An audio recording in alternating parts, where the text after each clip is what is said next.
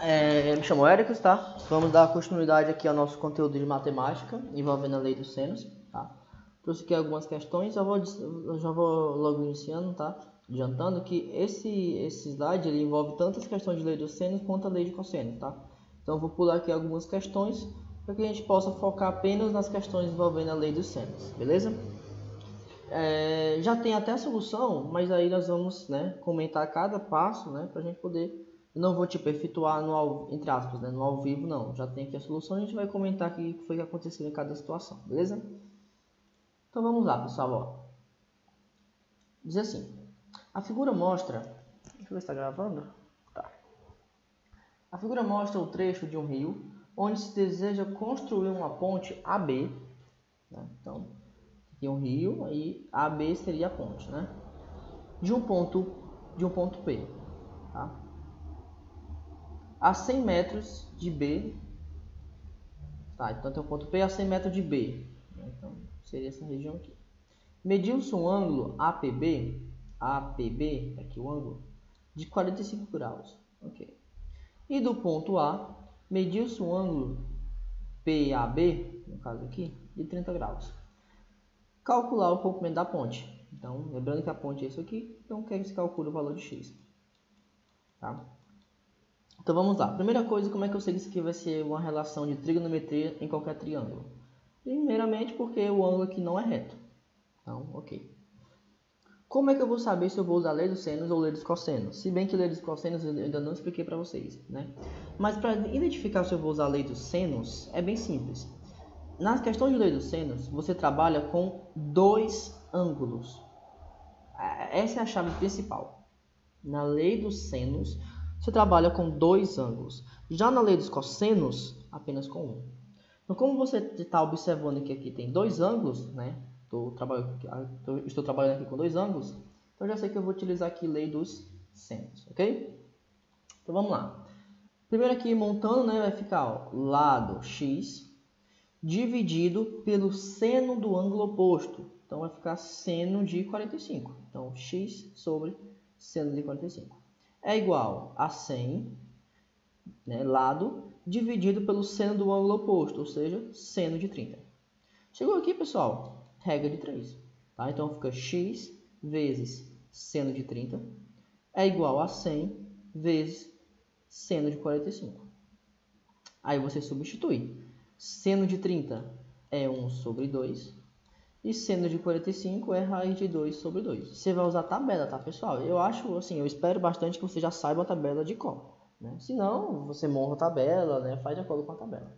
Então vai ficar x vezes 1 sobre 2, né? que é o seno de 30, é igual a 100 vezes raiz de 2 sobre 2. Aí você pode cortar esse 2 com esse 2. x vezes 1 dá o próprio x. 100 vezes raiz de 2 dá 100 raiz de 2, só junta. Né? Então, esse é o valor de x. Aí ele substitui né, raiz de 2 pelo valor de raiz de 2, que ó, se não dá 1,41. Né? Dá, dá exatamente isso, porque dá 141. Né? Raiz de 2, pessoal, raiz quadrada de 2 é aproximadamente 1,41. Tá? Aí multiplicando por 100 vai dar aproximadamente 141 metros. Porém, você não tem a obrigação de saber o valor de raiz de 2. Então, vamos dizer que a questão acabou aqui. Tá? Você não precisa dar o valor decimal não, 141. Podemos dizer que a questão vai acabar realmente aqui. Tá? Então, como vocês podem observar, não é uma questão assim, extremamente complicada. Tá? Aplicar a lei dos senos é bem tranquilo mesmo.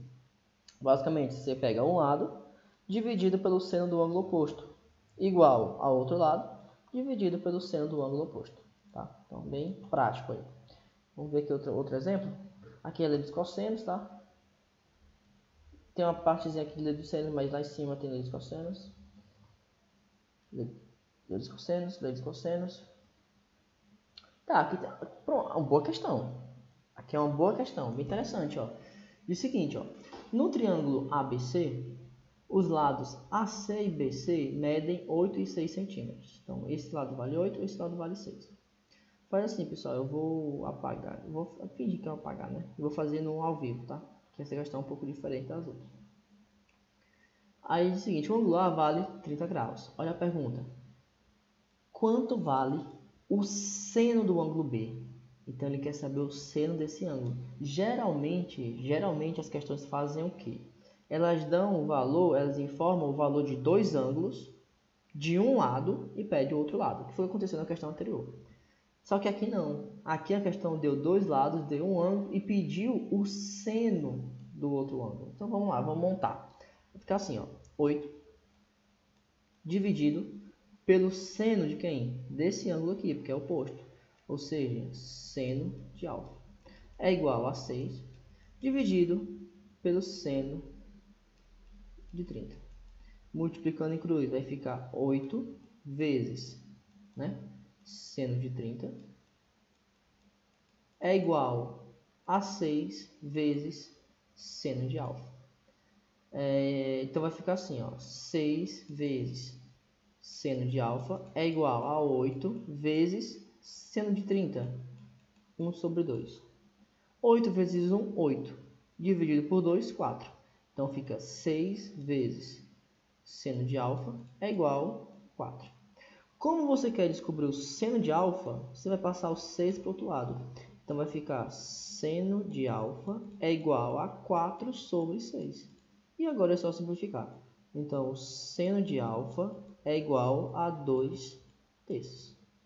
Pronto. Tá? Então, é uma questão bem interessante. Tá? No exemplo que ele deu aqui, ele não botou alfa, ele botou seno de B. Tá? Eu chamei esse ângulo aqui de B, de alfa. Mas é a mesma coisa. Tá bom? Então, aí uma relaçãozinha, uma questãozinha bem diferente da, do que a gente é mais acostumado a ver porque ela pede o valor do seno, né? E não o valor do lado. Mas aí vocês observam que a maneira de resolver é basicamente a mesma, né? Não muda muita coisa. Vamos ver mais uma aqui. Ok.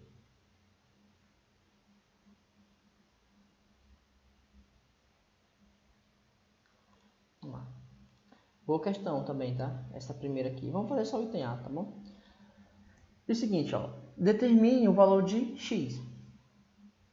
Aí você faz assim, ó, esse valor aqui, pessoal, entendam, a questão não informou esse ângulo. Esse aqui não veio na questão, tá? O que veio, a questão veio desse jeito aqui. Então, como a questão quer o valor, o, o que você calcula o valor desse ângulo, então você iria montar da seguinte forma, né, pessoal? Ó, ia ficar o seguinte, ó, x x sobre seno de 45 é igual, o outro valor que deu foi 5, né? 5 sobre, aí você vê, ó, ah, sobre seno de 75, não, errado. Porque lembre que você sempre tem que pegar o ângulo oposto ao valor do lado. Então, como você quer calcular, você vai usar esse 5, você precisa desse ângulo aqui. Só que esse ângulo não veio na questão. Então, o que você vai fazer? Você não sabe que tudo tem que dar 180 graus? A soma dos ângulos internos tem que dar 180 graus? Então você soma. 75 com 45 vai dar 120. 180 menos 120. Então aqui só pode ser 60 graus. Então vai ficar 5 sobre seno de 60. Então chegou aqui você faz do mesmo jeito que eu expliquei. Mas aqui é que está o grande diferencial da questão né, que você tem que determinar o valor desse ângulo. Então, cuidado para você não fazer o seguinte, ó, x sobre seno de 45 é igual a 5 sobre seno de 75, que vai dar errado. Inclusive, você nem sabe o valor de seno de 75, né? Então, já dá para duvidar, né, desconfiar um pouco desse momento aí. Então, chegou aqui, você já sabe o que tem que fazer, né? Vai ficar x vezes seno de 60 é igual a 5 vezes seno de 45, tá? Estou multiplicando em cruz.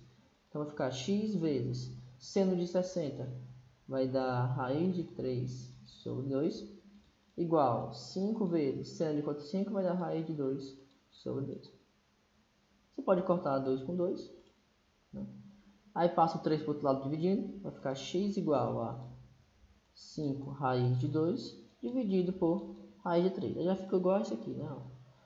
Aí chegou aqui, pessoal, você vai ter que fazer o quê? Ó? Racionalizar. Porque não pode ficar raiz quadrada no denominador, né? Então, isso aqui você já viu. Multiplica em cima e embaixo por raiz de 3. Então, vai ficar raiz de 2 vezes raiz de 3 vai dar raiz de 6. Então, fica 5 raiz de 6. Raiz de 3 vezes raiz de 3 vai dar só 3. Então, o resultado final é 5 raiz de 6 sobre 3. Ok? Então vamos ficar só no item A, ok? Porque o item B já não envolve mais lei dos senos, é lei dos cossenos, que já é uma outra propriedade, ok? É, pessoal, vou finalizar aqui, tá? Eu espero que vocês tenham entendido aí basicamente o conceito inicial, tá? Próxima semana a gente começa aí lei dos cossenos, beleza? Então, vou finalizá-lo aqui. Valeu, até a próxima. Fui.